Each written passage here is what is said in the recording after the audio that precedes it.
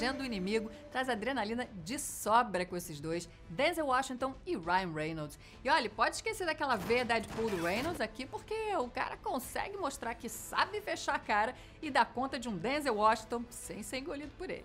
É, o Denzel é um dos meus atores preferidos. E aqui ele vive um ex-agente da CIA que se torna traficante de informações e passa a ser tratado assim como um traidor e um dos caras mais procurados do governo até que ele vai parar lá na África do Sul, onde está baseado o agente novato e ingênuo vivido pelo Reynolds.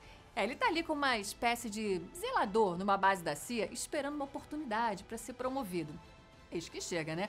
Ele acaba tendo que proteger o personagem do Denzel. A dinâmica dos dois é impecável, né? Aquele jogo que um ganha e aprende com o outro, sabe? E o que eu amo no Denzel Washington é que ele tem aquele jeitão sereno, fala mansa, né? Elegante, baixo, e ainda assim é o cara mais perigoso do pedaço. E ele faz isso maravilhosamente bem. Então assiste para você ver. Um ótimo cineminha aí pra você.